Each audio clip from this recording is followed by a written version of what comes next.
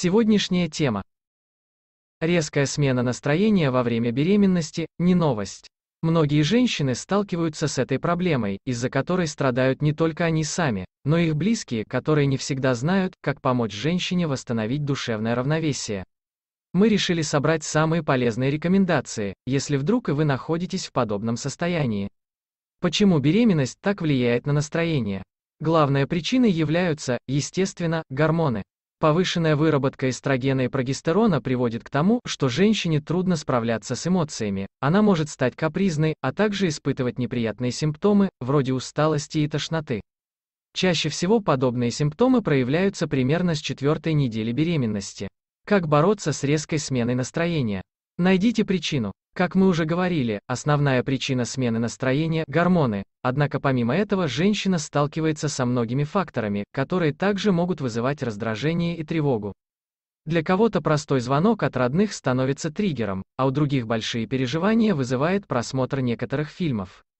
Все это может усугублять и так неустойчивое состояние. Найти эту вторичную причину и постарайтесь избегать этого раздражающего фактора, хотя бы до конца срока беременности. Больше отдыха. Часто женщины до последнего месяца ведут активный образ жизни, и винить их в этом нельзя. Кроме того, чем ближе дата родов, тем больше волнения зарождается в душе будущей мамочки, усиливая уже имеющуюся тревогу.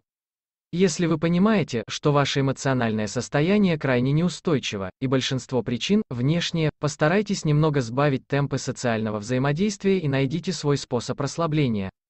Не накручивайте себя. В определенный момент с телом беременной женщины происходят изменения, которые не всем легко принять. Многие женщины, особенно с тревожным типом личности, способны накрутить себя до крайней точки по поводу своего внешнего вида, тем самым вызывая все новые приступы беспокойства. В этом случае важно пообщаться со своим гинекологом и обсудить с ним происходящее с вами. Специалист вас выслушает и популярно объяснит, что все не так уж и страшно, а также расскажет, к чему стоит быть готовой и как поступить в той или иной ситуации перед и после родов. Не бойтесь общаться и задавать вопросы. Ставь лайк и подписывайся.